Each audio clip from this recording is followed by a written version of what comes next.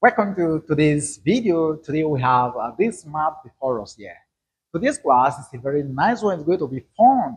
Yeah, we have this smart Olympiad question before us there. The question is 2 to the power of a plus 4 to the power of a plus 8 to the power of a equal to 39. We are asked to look for the value of a. And again, the condition given is that a belongs to a set of integers. Okay, so how do we get our A from this challenge? show. if you're new here, this is Online Maths TV, where we'll learn mathematics all the time. Stay back as we dive into today's challenge. So first thing first, we take a selection. Selection. Now, if you look at the left-hand side of the equation, all the quantities on the left-hand side can be expressed in base 2, right?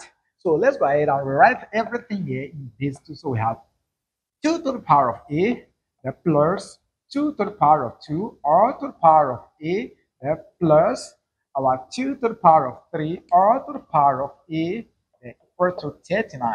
Okay, now if you look carefully, here we are having 2 to the power of a. So we want to strike a balance whereby we have 2 to the power of a in all the quantity we have on the left-hand side. Is that possible? Yeah, if you look at the left-hand side, we cannot express that in base 2.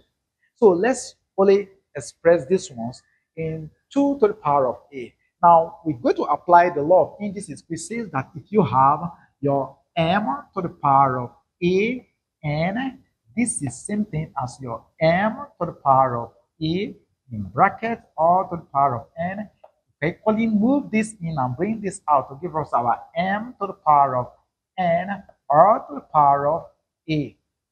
Okay, so if we look at this law from indices, then we can shift this, shift this a in, move this two out, bring this a in, move the three out. So we're to have this to be 2 to the power of a, then plus our 2 to the power of a, close bracket, or to the power of 2, then plus 2 to the power of a, close bracket, or to the power of 3, everything equal to 39.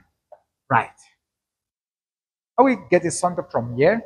Now that we have 2 to the power of a, 2 to the power of a common to everything here, and we have the powers here in ascending order, then we can do a simple substitution to bring in another alphabet that will enable us to solve for our a. So from here, we can say here, let, this time around, let's take p. So let p be equal to 2 to the power of a.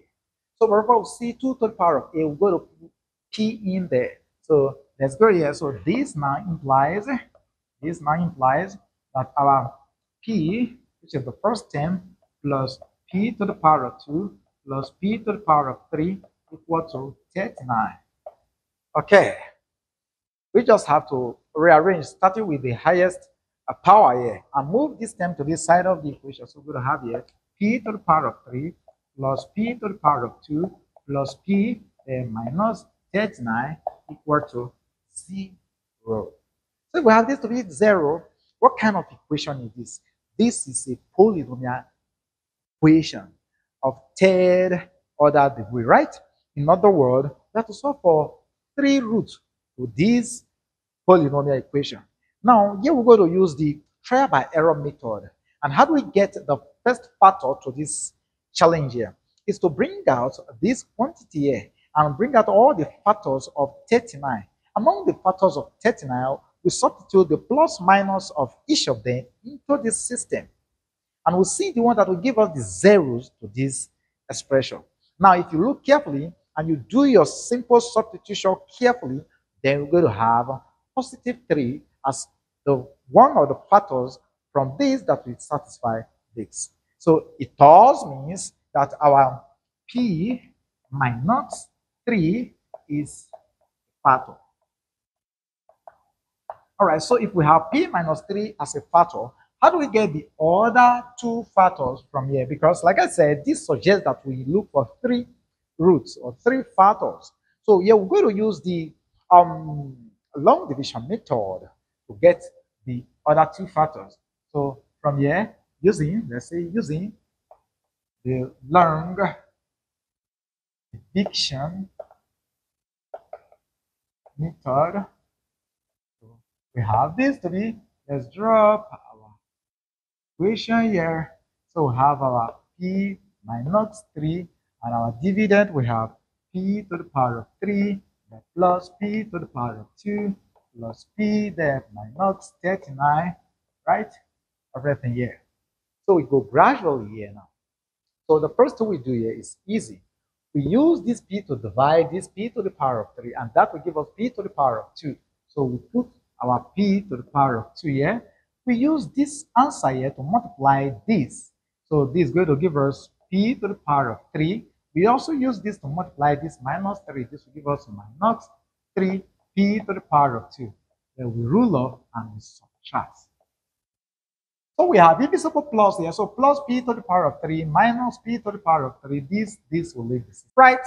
So minus times minus will give us plus. So p to the plus p to the power of 2 plus 3p to the power of 2 will give us 4p to the power of 2. Bring down the next term here, which is plus our p here. All right. Again, we go with the division second time. p into 4p square will give us plus our 4p. So we use plus 4p to times everything. So this will give us plus p to the power of 2. Then plus 4p times minus 3 will give us minus, here we're going to have about 12p. So again, we subtract for the second time. All right, so plus p to the power of 2 minus here 4p to the power of 2. This, this leaves, this turns to plus again. So plus p plus 12p will give us 13p. We bring the last term here, which is um, 39 we do the last division. P into 13P will give us 13. So we have plus our 13 in here. Use this to find this. This will give us 13P. Then use this to find this. This will give us a minus 39. Then we can do our subtraction again. This is minus. So this, this leaves. Here turns to plus. So minus 39P plus 39P but it give us zero. So at the point where we have zero, zero, we bring our quotient and our divisor into the eliminating our dividend. We have our P minus our 3, this is our divisor. Then our quotient is P to the power of 2, the plus 4P, the plus our 13, everything equal to 0. So we have a quadratic equation here. So we have two cases from here because we apply the zero product rule. We say that we equate this to zero, we equate this to zero. So let's take case one. So you have here case one. So in our case one, we have p minus 3 equal to 0. So therefore, we have our p is equal to 3. So these are p1. Okay. So now we got our p1 to be positive 3. We look for our case 2, right? So let's continue on the side of the board and see what our case 2 will give us from here. Case 2. So what is our case 2? We have p to the power of 2. So we have p to the power of 2 plus 4p. Then we have plus uh, 13 equal to 0. Again, this is a quadratic equation, so we can solve quadratically to get the two roots to this challenge here. But from what I can see so far, this is going to give us imaginary roots. So let's check if this will give us imaginary root because look at the condition given. Say A belongs to a set of integers, right? So from here, we know we're going to discard any imaginary root. So let's use our det is equal to let's check B minus B square minus 4AC, right? Okay, so this will now give us equal to what is our B in the system? Is 4. So we have 4 to the power of 2 minus 4. What is our A? Our A is 1 and RC is 13 close bracket. So this gives us here, or we have here 16 minus 4 times 1 will give us 4, and 4 times 30 will give us 52, um, right? So we have 52 here. So if we subtract, this will give us minus 36. So you discover that this will give us imaginary root. We don't need that. So what we do here now, we come to the only root that is acceptable here, which is P1. And again, at the beginning, we don't have P. So we recall where we said, let P be equal to 2 to the power of A. So from here, we now say, let, recall rather, so we say recall, recall that we said, that let P be equal to 2 to the power of A. So here we have P equal to 3, we want to solve for the value of our A. So we're going to have our 2 to the power of A equal to 3. Easy. So this is easy to solve, right? So how do we get this? We either ln both sides of the equation or we take log to base 2 or log to base 10 of both sides of the equation, right? Good. So let's take log to base 10. So from here, we have here log 2 to the power of a is a, then base 10. This is equal to log 3 to the power to base 10 rather. Okay, so according to the law of logarithm, uh, which says that if you have powers, then move this to this side of the equation. So this is going to give us our a times log our 2 base 10. This is equal to log our 3 base 10. Okay, we are looking for a, right? So it's easy. So let's continue on this side of the board. All we just need to do is to divide both sides by log 2 base 10. So we're going to have our a will now be equal to our log of 3 base 10 all over log our, our 2 base 10. So this is the value of a that will satisfy the original equation. Now with what we have here now, can we do a simple check if this value actually satisfies this original equation? Okay, let's take a simple check. So yeah, let's take check. We want to put these values into this original equation. Now, in doing that, we are going to rewrite this answer. According to the law of logarithm, we can rewrite this answer. And so this will be written as our log 3 base 2, according to the change of base law. So this is what we want to put into the place of a. So let's take our first one, we're going to have 2 to the power of log 3 base 2, then plus our 4 to the power of log uh, 3 base 2, then plus our 8 to the power of log 3 base 2. Everything equal to 39. Okay, so how do we manipulate this? This is pretty easy. If you look at this, we're having 2 to the power of log 3 base 2. So this can cancel out this. So we left with 3 here. So what we do, we have to rewrite this in base 2, also rewrite this in base 2. So let's go ahead and rewrite this, this in base 2. So from here, we're going to have this to be 2 to the power of log uh, 3 base 2. This one doesn't have any problem. So this is 2 to the power of 2 times log 3 base 2.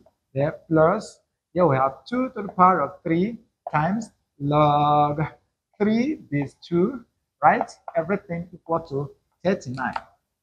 Okay, let's continue this side and see what this gives us, where this guy will lead us here. Now, according to the law of logarithm again, the power law, we can move this to this side, move this to this side.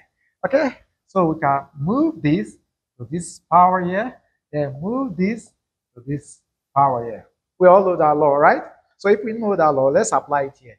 So this now implies that we're going to have our 2 to the power of log 3 base 2 there plus the next one we're going to give us here 2 to the power of log.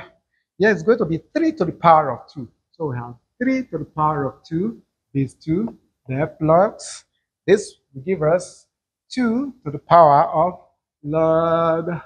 Here we have um, 3 to the power of 3. So we have 3 to the power of 3. Let's manage this. This. Everything equal to 39. Easy. Okay, so from here, we discover that this we go with this. This we go with this. This we go with this. So we are left with what? Our 3 there plus here we have 3 to the power of 2 there plus here we have 3 to the power of 3 equal to 39. Wow. Easy, right? Okay. So here we have 3 plus 3 to the power of 2 will give us 9. Then 3 to the power of 3 will give us 27 equal to 39. So we can add up. So 3 plus 9 will give us 12. There 12 plus 27 will give us 37, sorry, 39, which is equal to 39. So this shows that our answer here satisfies the original equation. Okay, so this brings us to the end of this math class. If you learn something from this question, from this challenge, from these steps, from the approach applied here, give the video a thumbs up. And again, if you have any question with regards to Uh, this challenge, the approach, the steps applied, drop it in the comment section. Remember, this is Online Maths TV, and Jesus loves you. And every one of us at Online Maths TV love you dearly. Thanks for being there all the time. Thanks for the encouragement so far. Keep watching Online Maths TV until we meet you in our next class. Keep winning. Bye for now.